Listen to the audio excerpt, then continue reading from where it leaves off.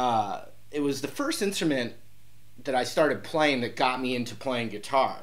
So I'm kind of like going full circle and going back and kind of been studying um, the harmonica again a little bit, you know, just basic blues harmonica. But I thought it'd be a good opportunity to uh, show you a cool, a cool little lick that you can try. Whether, you know, you've never played before, you got one like in your stocking for Christmas or whatever.